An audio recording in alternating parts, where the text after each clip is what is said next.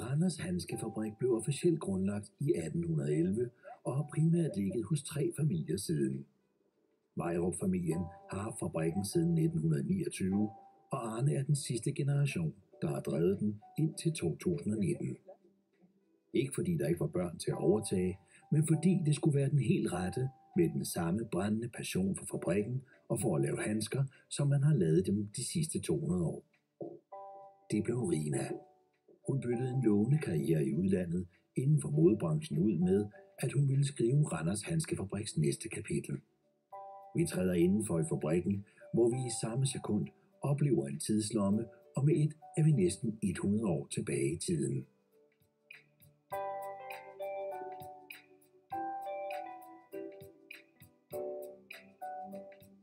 Det var jo fabrikken, det hele drejede sig om. Så på et, øh, et meget tidligt tidspunkt, hvor jeg kan begynde at erindre, at uh, nu har man altså fået lært at cykle, så gik det som nok ikke så forfærdelig lang tid, hvor man fik uh, små opgaver. Det var både som bydreng, men en af dem, som jeg husker fint, det er, at uh, der, skulle jo, der var mange hjemmesyrsker på, på fabrikken. Og de uh, havde jo deres uh, arbejde derhjemme, men samtidig også arbejde for familien. Så ofte var det sådan, at der var aftaler om, at uh, deres arbejde, det kom vi med, og vi hentede så det, de havde færdigt. Og det var jo lige noget for en knægt at blive sendt ud.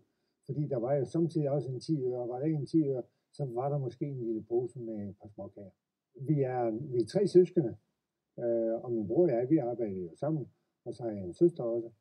Øh, min mor døde, da jeg var 6 år, så min far giftede sig igen, og øh, der har jeg en søster der. Således at øh, øh, det er, om jeg så må sige, samme opvækst, vi har fået alle sammen. Det har drejet sig om Randers Handskefabrik, og det har været et dejligt samlingspunkt.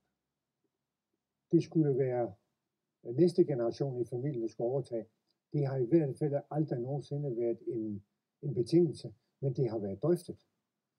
Øh, men samtidig har de jo også haft deres udvikling, og den gik ikke i retning af, at det skulle nødvendigvis være handsker. Øh, det var noget, der kom op en gang imellem, og når der så var øh, snak om skolen og hvad der skulle ske, og de blev ældre, jamen øh, så faldt det faktisk helt naturligt, at øh, de havde nogle interesser og nogle evner, øh, som nok dikterede noget andet.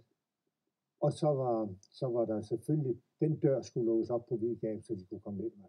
Sådan er det gået til. Så øh, Rinas øh, tilgang til virksomheden, det er egentlig, at når øh, der var mennesker, som øh, jeg var i kontakt med, øh, så var det aldrig noget, jeg lagde skjul på. På et eller andet tidspunkt ville jeg jo nok regne med at skulle holde. Og øh, som følge deraf, så var jeg bestemt interesseret i at snakke med mennesker, som kunne være de rigtige til at føre virksomheden videre. Og det øh, endte jo altså med en, øh, en lang proces, hvor jeg mere eller mindre uvidende ikke øh, øh var, var del af. Men øh, på et tidspunkt, så, men den historie, den er jeg sikker på, at Rina hun vil fortælle, øh, hvordan der så bliver sat skub i tingene. Den er lidt kraftigere. Den er lidt kraftigere, ja. Specielt inde på, Ja. på ryggen. ja. Og øh, der gik som ikke så forfærdelig lang tid, så var jeg klar over, så nu, uh, nu er den rigtig. Så sådan er, er forløbet meget koncentreret, men sådan har det været. Det er en flot uld.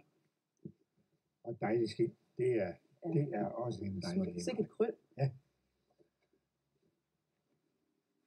Og den er kraftig. Den er kraftig. Ja. Den skal Helt jeg have. Ja, den tager jeg. Det er altså størrelse under 9. Ja. Den størrelse. Randers Handsker har altid været en del af, af min familie. På den måde, at, at man har elsket produktet. Så min mor har gået med Randers Handsker og har en kæmpe kollektion. Og min mormor og, og sådan hele vejen tilbage. Så jeg har altid kendt Randers Handsker og, og synes, at det var en af de, de fineste heritage firmaer, vi har i Danmark. Så virkelig en, en del af den danske kulturarv. Men, men det var så også bare det, altså. Øh, så det var faktisk først i, i 2007, da jeg boede i London, og min øh, derværende frisør, han kom til mig med en artikel, hvor der stod Danmarks svar på Gucci. Så han, han prøvede at, at lokke mig tilbage til Danmark. Øh, jeg boede i udlandet i 10 år og skulle absolut ikke tilbage til Danmark, fordi det var et alt for lille land. og der var ikke de her luxury brands, som jeg ellers havde arbejdet med. Øh, men ja, han fik mig overtalt, og, og Randers Handsker var faktisk et af, af de lokkemidler. Ja, fra 2007, fra den artikel, og, og jeg rejste så hjem, eller flyttede hjem, vi blev gift i, i 2010, så han fik mig overtalt. Øh, så begyndte vi at prøve at komme i kontakt med Arne.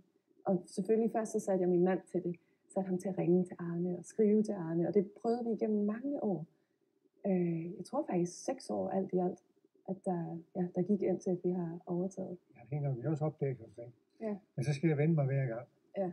Og med alle de skin, der er, så til sidst, så slider jeg altså bagdelen ud af min buks. Øh, og i den tid, så, så flyttede vi endda også til Randers, fordi jeg var sikker på, at vi nok skulle overtage virksomheden på et tidspunkt. Øhm, og vi har aldrig været i Randers før, altså vi har ikke nogen forbindelse til byen. Og altid ja, bare kendt til dens ry og omdømme. Men alligevel, så var jeg helt sikker på, at jamen, vi, skulle nok, vi skulle nok ende her. Så, så da vi var flyttet hertil, så gik jeg ned en lille juleaften og, og bankede på, på døren hernede, og gik ind og